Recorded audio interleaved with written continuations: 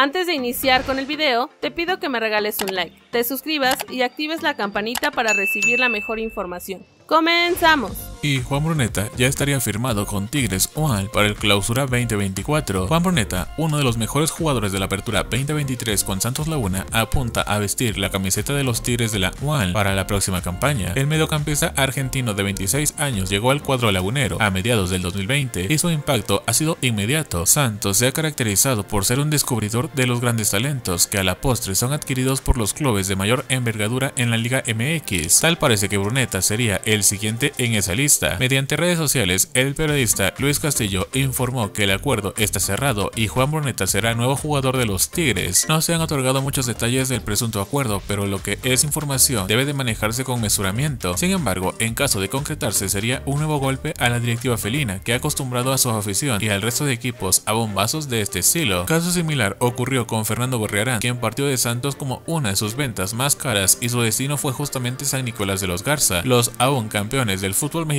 han construido un equipo verdaderamente de época con base en fichajes de este estilo. Habrá que aguardar qué papel jugaría Juan Bruneta con los Tigres. Por lo pronto competiría posición con jugadores como Osiel Herrera o Juan Pablo Vigón. Cruz Azul y Toluca buscarán arrebatarle al Club América el fichaje de Omar Campos. Omar Campos se ha convertido en uno de los mejores laterales izquierdos del fútbol mexicano, por lo que han despertado interés tanto en la Liga MX como en el viejo continente. Sin embargo, en estos momentos, de acuerdo con múltiples reportes, sería el Club América el que llevaría la delantera para hacerse con servicios del jugador de Santos Laguna. Desde el torneo pasado se viene hablando de la posible llegada del joven defensor a las Águilas, sin embargo aún no se ha concretado su fichaje, pese a que el América ha estado negociando en los últimos meses con la directiva de la comarca y la tarea no será nada fácil. De acuerdo con la página Modo Guerrero, se han sumado dos equipos a la pelea por Omar Campos, se tratan de Toluca y Cruz Azul. El primero de ellos estaría buscando un reemplazo de Maxi Araujo, que todo apunta a que saldría del infierno en el mercado